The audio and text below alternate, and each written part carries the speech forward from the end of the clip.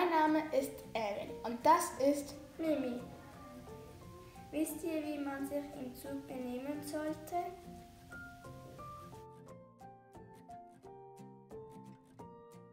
Wollen Sie hier hinsitzen? Ja, gerne. Dankeschön. Bitte, meine Dame.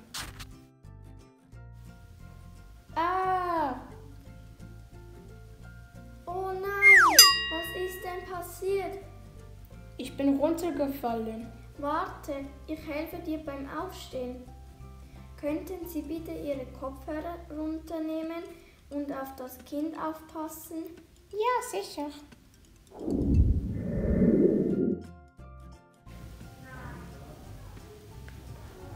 Das war's mit unserem Lernfilm. Ich hoffe, ihr habt was da gelernt. Tschüss. Tschüss.